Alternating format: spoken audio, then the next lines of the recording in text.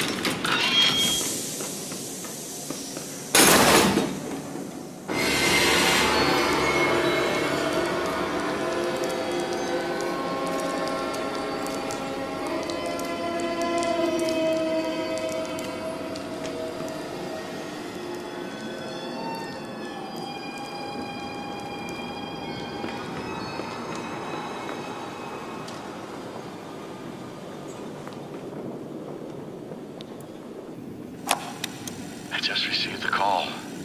Joey Drew is dead. What a end to an extraordinary life. Last I heard, he was staying in some cramped apartment downtown. You practically hear the rats through the telephone when he called me last April. In spite of that, old Joey sounded quite happy when last we spoke. More like the excited, hopeful young man I knew once upon a time.